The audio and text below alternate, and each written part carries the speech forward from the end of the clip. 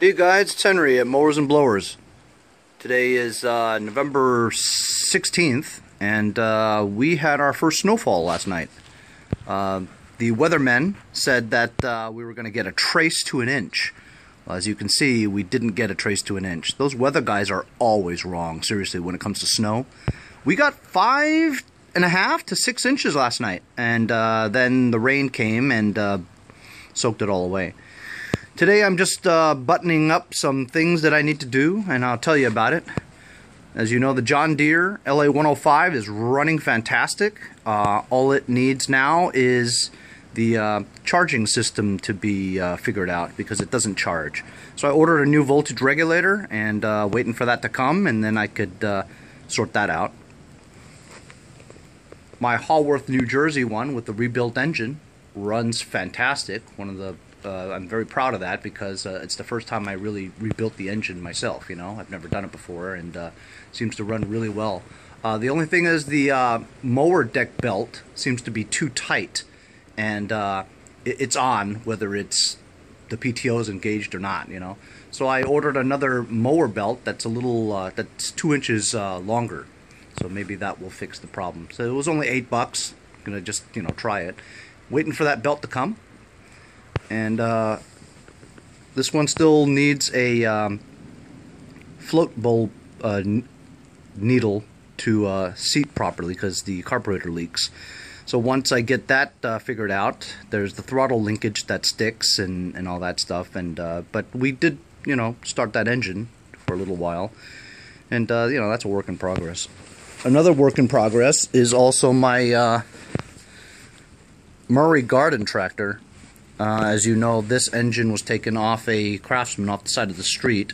I uh, took that apart and cleaned it because it had sludge and water buildup in it, and uh, it doesn't run well. It runs, but it doesn't run well because the opposed twin carburetor in there um, that I got from Pete Lombardi, he actually gave me two opposed twin carburetors, and uh, I took the newest looking one and I put it in there, and it just it doesn't run right, you know. Also, it has a leaky um, sump gasket. So once I get this figured out, uh, eventually I'm to have to take this engine off, flip it upside down, take off the sump cover, and replace the sump gasket to prevent it from leaking. But I'm not going to do that yet until I know this runs smooth, you know, and it's been driving me crazy. And so I'm going to take this uh, carburetor out I'm going to find the other carburetor that I had uh, from Pete Lombardi, and he says that's a better carburetor. But if I took this fuel pump off of this one, put it on that one, and clean it up, it should run way better than this one. This one was missing parts. This one was missing a jet. This is missing the Welsh plug, so I have it plugged with some plastic cap that I found, you know. So I don't, that's not, you know, really the right way to do it. So I'm going to I'm going to get the other carburetor that I have in the backyard in a toolbox somewhere, and I'm going to basically make one good one out of two, hopefully. So uh, I'm in the process now of removing this uh, base. I have to disconnect the hoses. I'm going to take that apart and try to get that carburetor off. I have limited space, obviously. Um, it's all packed and jammed in here. It's difficult to work when you can't even walk, you know. But uh, I'm going to try to get this all squared away, and uh, it's cold out. So I want to take this carburetor off, get the carburetor from the backyard, and take it inside with my torch cleaning tips and soak it in some fluid and, you know, some brushes and just clean everything out. Take everything apart and take the good parts and build one, you know. So I'm building a good opposed twin carburetor. Um, it's a Nikki carb with the four screws. Parts are pretty expensive, you know. Got this little uh, lamp over here that I got for free from Harbor Freight Tools. You buy anything there, even if it's like a 49 cent thing, give you a free flashlight with a coupon. Well worth it. Anyway, so I've removed the uh, three uh, screws that hold the um, air filter base cover onto the carburetor, right? It's loose there. But there is a breather hose over here that you just basically stick your finger in here and push.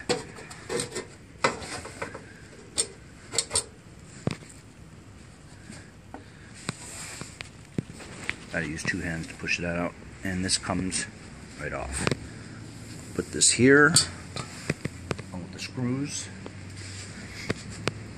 And there's the carburetor. I'm gonna disconnect the fuel lines. It shouldn't leak out because there's a fuel pump to it, so uh, fuel will not flow freely because it's not gravity fed. So I'm just going to disconnect the fuel lines and the uh, linkages, and uh, there's two bolts on the very bottom, and I'll just lift that carburetor out and go to the backyard and find the other carburetor, bring both of them inside with my torch cleaning uh, cleaning uh, tools, and sit at the dining room table and uh, take both of them apart, find all the good parts, and put one together. Cool thing about that flashlight, it's uh, magnetized, so you can like stick it somewhere and it stays in place, you know. Anyway, uh, just remove the uh, fuel line and the bottom breather hose over here. And uh, there are two 11 millimeter or 716 bolts that go upward that hold the carburetor onto the intake manifold. I've got one off already. I'm going to take the other one off. I'm going to loosen the uh, throttle linkages and uh, get it off.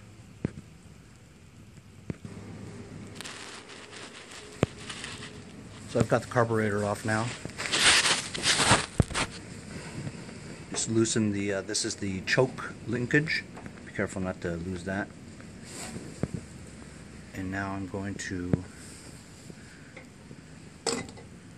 just loosen this Phillips screw there and take this linkage off of that hole. Make sure you know which one. It's that last hole there.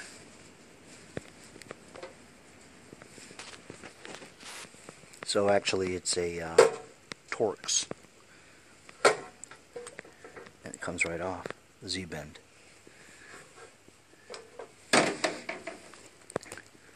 So here's an opposed, a Briggs and Stratton opposed twin carburetor. I know it looks clean, but it doesn't run good. Hesitates and stuff, um, just not smooth, you know? Looks good. See right here? This is a plastic uh, little cap that I shoved into the hole there. It's not supposed to be there. And I have a feeling that's the reason why it's not running right, because it's supposed to be a Welsh plug in there. I'm going to go and dig out the uh, other carburetor in the backyard. And I'll take this inside and I'll be able to show you exactly uh, what it's supposed to look like. And hopefully we can uh, put all the good stuff of here and put it on the other carburetor and hopefully it'll run right. Now I'm in my backyard. Got some of my equipment in here that's uh, under the covers because I don't want uh, it to be trashed with the snow and the rain.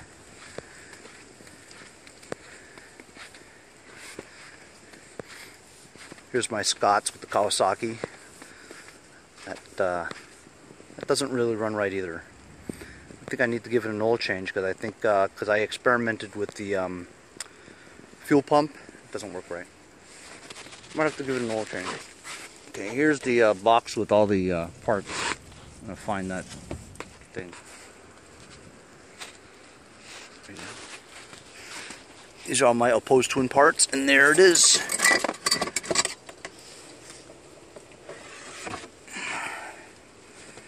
Here's the other opposed twin.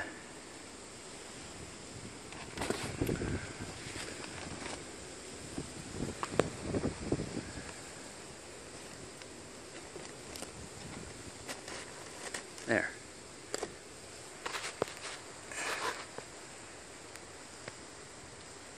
See that uh, hole in there?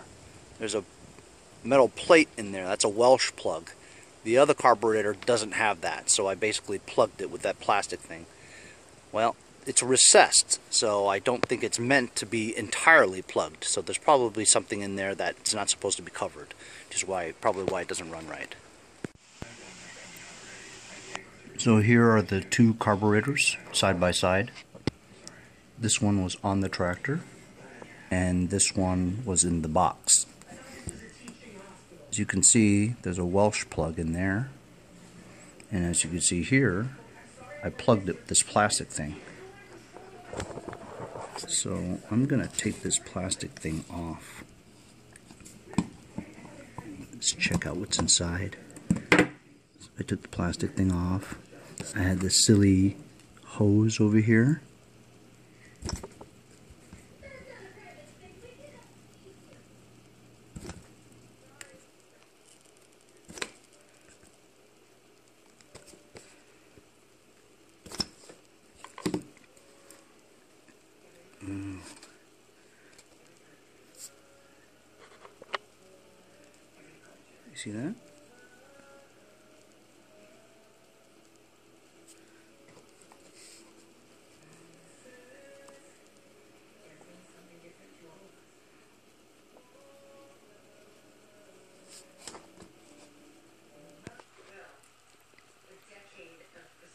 The older carburetor is really dirty. I'm going to take that top part off.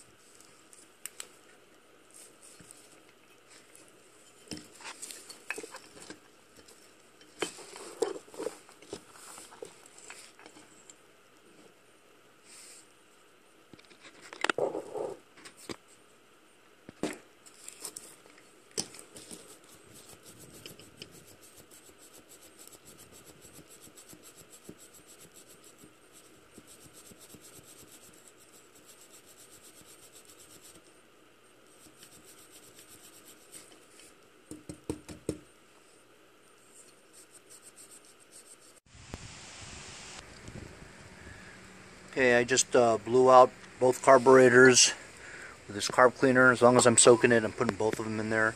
Took all the jets out and the nuts are in there too, into the bowl. I'm gonna fill it with some gas. I have it in a plastic bag here to uh, so I can agitate a little bit better by, you know, pulling up on it and you know, it just keeps it more compact, you know. I'm dump gas in it. It's about uh, a little more than a gallon of gas in there. I wanted to soak it all the way to the top, you know. Small price to pay for a clean carburetor. I'm going to soak this for a day. So it's the next day, and my carburetors are now nice and clean.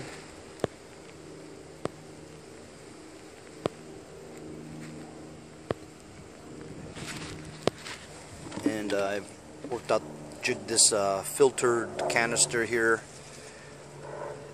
Save the gas for future soakings instead of just wasting it, you know.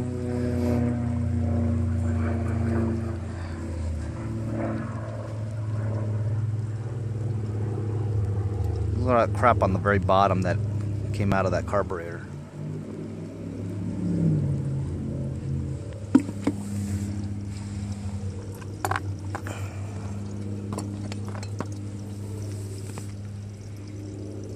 So I'm going to put everything together again, uh, build one good one out of the two, and uh, put it on the uh, Murray and see if it runs better.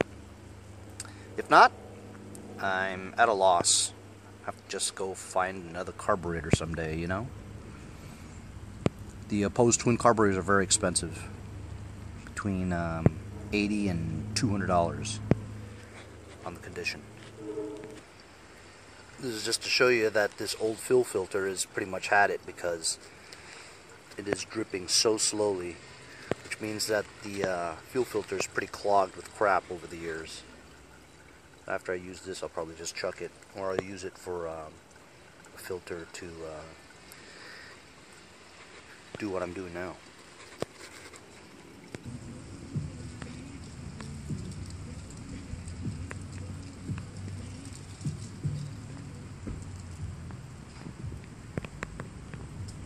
That's about as clean as you're going to get it.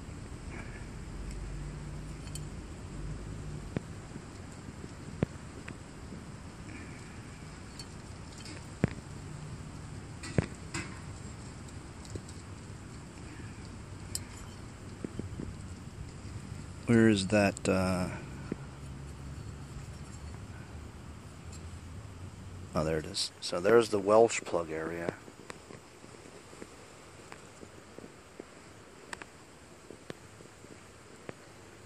Nice.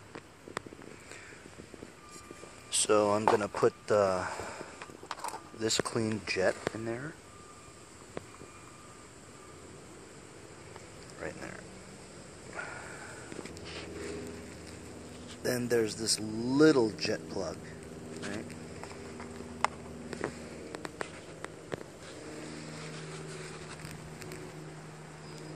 That's uh, clean. Can't see it. There we go. Nice and clean. You put the carburetor on top so that the spring will stay where it is, and then you tighten the bolts. Tighten the bolts down. And now, if I blow into the fuel pump here and try to suck, I can blow, but I can't suck. That's the way it's supposed to be. It's a valve. It can blow, but it won't return. It can't suck. That's the pulse from the pulse from the engine. Now I'm going to put the top part on. This part of the gasket where the fuel enters was a little bit worn. So I just used some gasket maker and I uh, put it there to give it a little bit of a coating. Make sure you don't plug up the holes.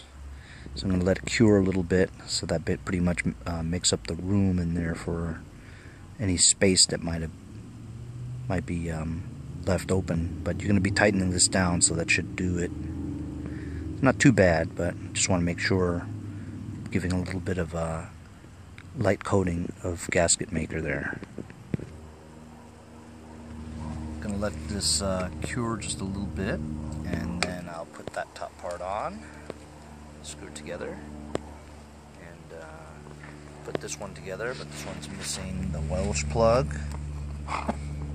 This one's missing a Welsh plug. It's missing the jet nut and the drain nut. It's also missing a spring inside the fuel pump. Other than that, this is another good carburetor. It's tough to get those parts though, you know, without buying a whole new uh, parts carburetor. So there it is. This is the completed opposed twin Briggs carburetor. It's pretty damn clean. So if this doesn't make my opposed twin engine on my Murray run well, I don't know what will short of a brand new carburetor, which I'm not going to spend $200 on. But as far as I can tell, it's complete And the only reason why I think it was running bad was because of the Welsh plug was missing on the old one. Well, now we have a Welsh plug. We have it completely cleaned. We have a rebuilt uh, fuel pump with all the good parts. I... I'm a little skeptical. I don't think it'll work right. I think it'll just be the same. But I'm gonna install it now and see what happens. Just install the carburetor, put all the hoses back, and uh, I'm just gonna give it a try now. Let's hope this baby runs right.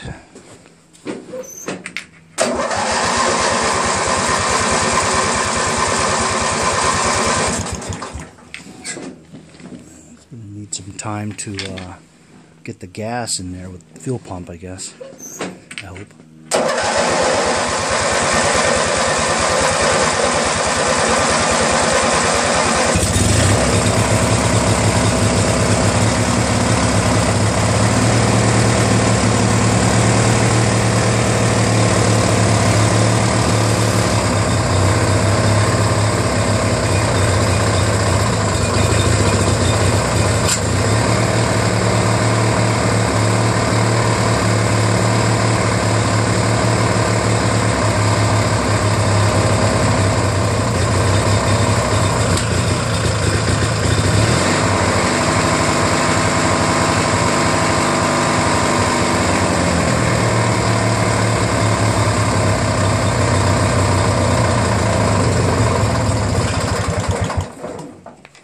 Nope. Still kind of runs rough. Don't get it, man. You even saw it uh, backfired a little, you know? I don't get it. Either it's a new carburetor or uh, something's up with the timing or maybe the valves. It's an, it's an L flathead, so the valves really don't really need much adjusting, you know? I'm going to try starting it up again.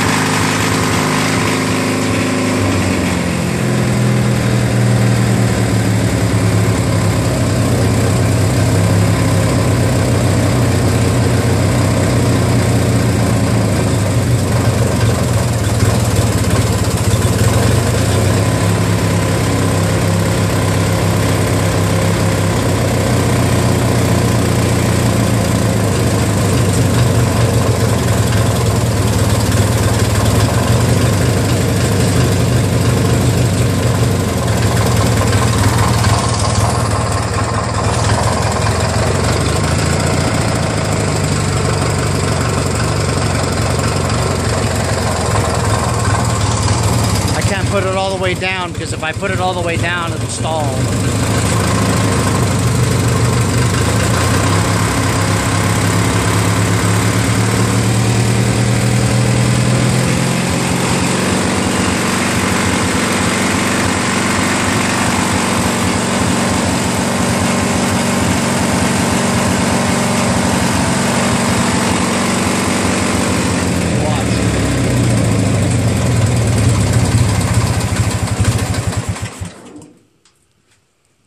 go. Well, look, I mean, uh, it runs okay, you know, but uh, not really as smooth as I'd uh, expect it to be, you know. The linkages are a little hinky.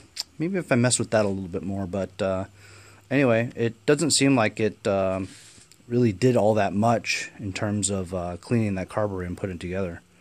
Um, anyway, that was it. Uh, that's my video of how to take apart two opposed twin carburetors and build one good one.